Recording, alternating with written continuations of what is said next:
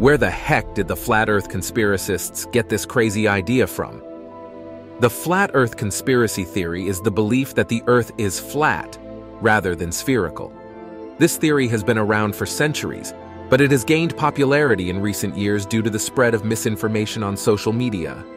There are many different reasons why people believe in the flat earth conspiracy theory. Some people believe it because they interpret religious texts literally. Others believe it because they are distrustful of science and the government. And still others believe it because they enjoy the sense of community that comes with being part of a group that knows something that the rest of the world doesn't. There is overwhelming scientific evidence that the Earth is spherical.